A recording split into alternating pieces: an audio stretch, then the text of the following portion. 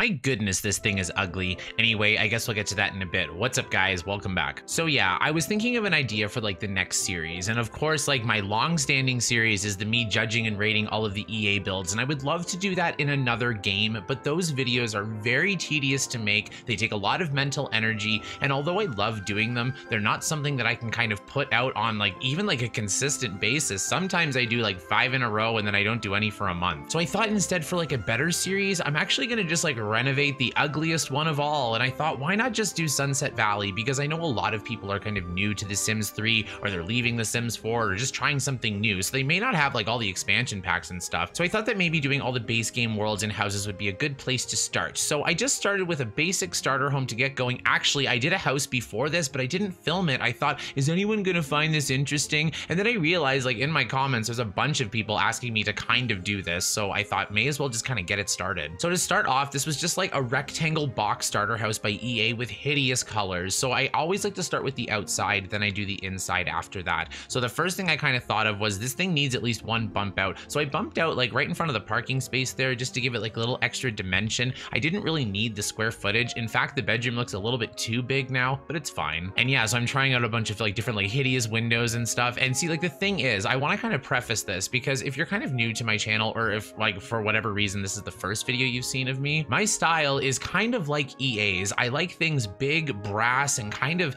not not necessarily pretty and not necessarily ugly either. I kind of like fun ugly. I like bright colors, I like pretty colors, I like overdoing things, over exaggeration, and like you can kind of tell by the way I talk, I guess too. But that's kind of what I'm going for. So this thing was kind of like a weird blue wood with like a red windows and stuff, and I thought this is not for me. So of course I changed it to pink windows. So that's a good example of kind of like the style that I go for. I think if you're gonna kind of like go with a concept, like you may as well really go for it. And I think for a lot of these houses, like they do have an idea and they do have a concept. Like they're not lazy, they're just ugly. So I think I'm gonna try and like focus on the things that like the house was trying to do and just make like a better version of it. So for this, I kept exactly the same floor plan. I just immediately started changing like little things like where's the stove, where's the sink. I want the counters to not be ugly. And even like with like the divider thing, like I wanted like, you know, like a little bit of a glass divider. Like why not, right? Because like they had this like ugly wooden railing thing. See, the thing is that Sunset Valley is very 70s. Like it's based off of like 70s ugliness. And that's probably my least favorite decade in terms of like art, music, and fashion. Like it's just, it's a bleh. It's just not for me. I was born in the 80s, the very late 80s, but I'm still kind of old, right? So like I can appreciate different kind of retro styles. Like I love the 50s and 60s. I love the 20s and 30s and 40s, right? I love the Victorian era. That's like my favorite. Like of the 1800s are amazing, but this 1970s blew it. So I decided to remove all elements of ugly green, which is a really good way to start doing something like that. I kind of like to stick to a limited number of colors. Since I go so bright with color, I just want like a couple. So I'm thinking, okay, pink, then what goes with pink? Kind of like an orange color. And then I wanted like a shade of blue. So I thought those are going to be like the three that I go for. And since we have the color wheel and stuff, like you can always play around with it and change things later. Sometimes you pick like a really good color, it just doesn't go with the other ones that you picked. So you just have to play around with it. I still have this ugly big window. I'm going to get rid, I think I get rid of this. I hope so. I don't want to see the car. Okay, good. I do. I put a little small window there. But yeah, I just kept like the same basic floor plan. As you can see, I kind of made like the walls orange. I think I changed them to gray because I don't like too much color either, especially when I use like a bright color like the pink windows and stuff. I want to do lots of neutrals. So like maybe some beiges, maybe some grays,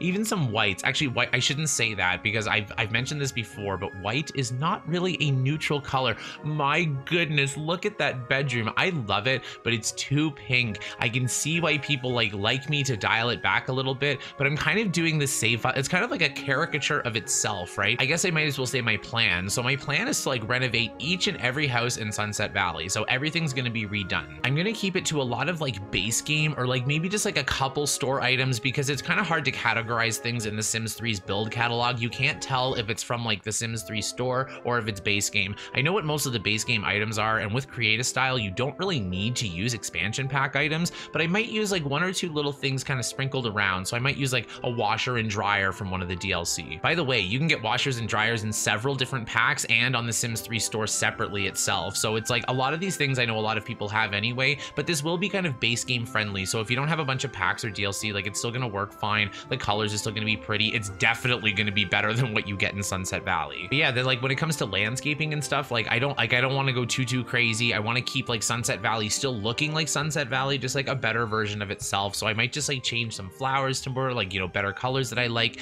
Maybe there's a few ugly trees in The Sims 3. Let's be real. So maybe I'll replace a couple of those. But in terms of just like the general look of Sunset Valley, like it's still gonna give that feel. So if you are a big Sunset Valley fan, I still plan to have the same Sims inside. Oh, and by the way, this is an empty like unoccupied house. So I figured like it really doesn't matter what the style is. I just kind of made it single basic female sim because that's what most people play. But I thought like for the actual towny houses, I'm gonna make sure like everyone has like the right like the right number of bedrooms, the right styles. If they have any interests or careers, that'll be factored into the build as well. So I'm gonna make sure like the houses still like make sense for the Sims. So and actually in some cases EA doesn't do that. Like with the Crumplebottom house, it's perfect for Agnes, right? We definitely have to fix that roof, but you know for the most part like the concept is pretty good. But for some of the houses, it's just so not like I don't know why like Morgana Wolff lives in that hideous modern thing. I don't know. I usually I, I usually have her divorce him and move out anyway. But yeah, I can see myself like doing some terrain paint and doing like the porch light and whatever. I'm doing like a few final tweaks and I know I changed a few things even after I finished filming the speed build portion of the video. So why don't we jump in and do like a little house tour and we'll, and we'll kind of see what the finished product is. See you there.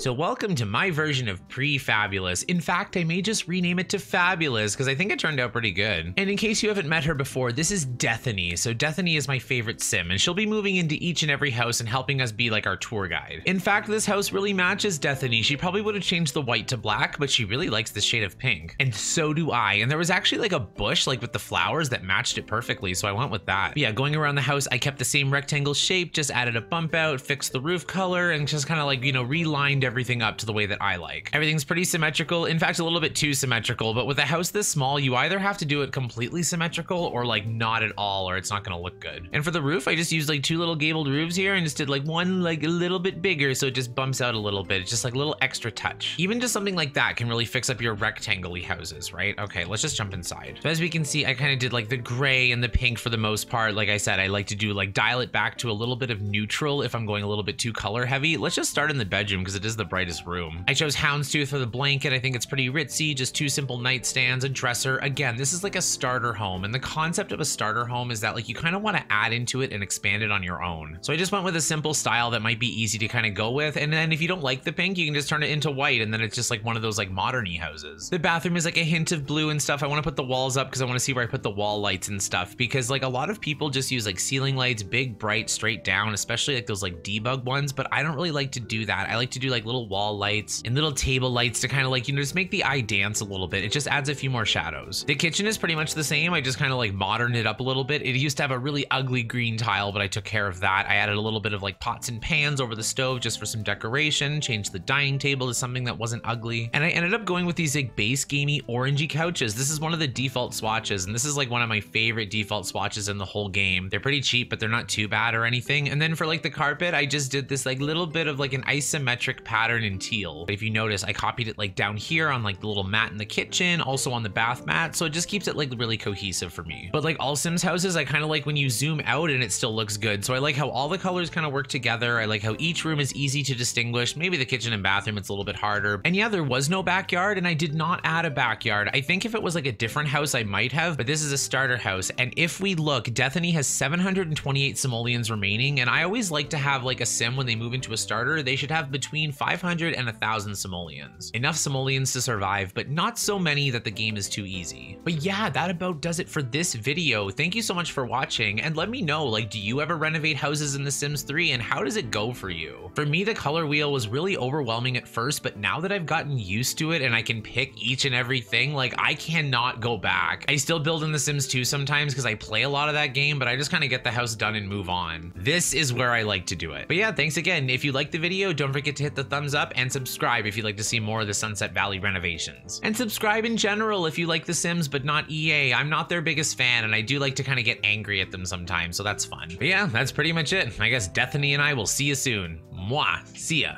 Boom.